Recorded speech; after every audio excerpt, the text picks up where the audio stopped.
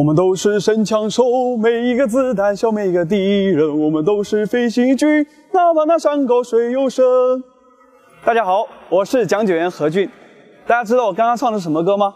没错，就是《游击队歌》。这首歌是在抗日战争时期由著名音乐家贺绿汀先生创作。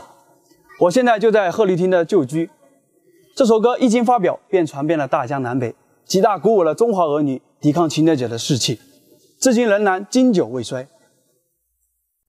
我现在在上海音乐学院，贺立汀先生曾是这里的院长。作为人民音乐家，贺立汀先生还创作过《四季歌》《天涯歌女》等传世之作。